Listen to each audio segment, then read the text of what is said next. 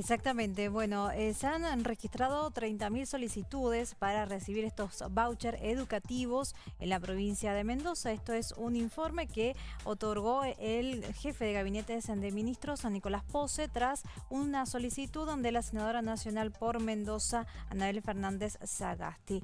Eh, quienes han terminado de completar la inscripción, el dato preciso es 29.989 alumnos de escuelas privadas que reciben subsidio estatal y que este número no sería definitivo porque recordemos que las inscripciones cerraron el pasado 10 de mayo, por lo tanto todavía falta eh, establecer cuál fue el número eh, definitivo, ya que este número es hasta el 15 de abril último.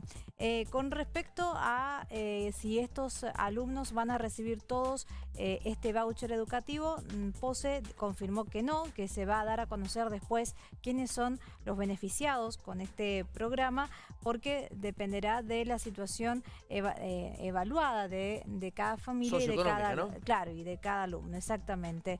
Eh, por lo tanto, también POSE confirmó que fueron 343 los establecimientos habilitados para recibir los vouchers.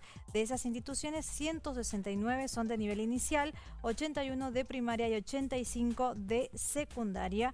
Y es por eso que ahora hay que esperar cuáles van a ser los alumnos beneficiados con estos vouchers. Como decimos, hasta el 15 de abril 30.000 han sido los inscriptos, falta eh, los últimos que se inscribieron hasta el 10 de mayo. Y lo que sí confirmaron desde el Gobierno Nacional es que no va a haber una segunda etapa de vouchers educativos. Solo eh, alcance tres meses, ¿no? Exactamente, son estos tres meses. Una ayudita durante los próximos tres meses.